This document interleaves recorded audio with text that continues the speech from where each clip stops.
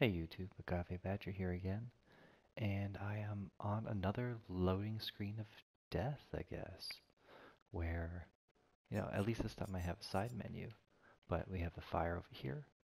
Supposedly I'm in a lobby, but, and I've already checked it, supposedly, even though I didn't, and nobody's here. And there's not much I can do, so it's very interesting that this keeps happening on the PlayStation. I don't know if anyone else is experiencing this. Uh, the only update since the Singularity came out is that this side menu is now accessible. Other than that, nothing's changed.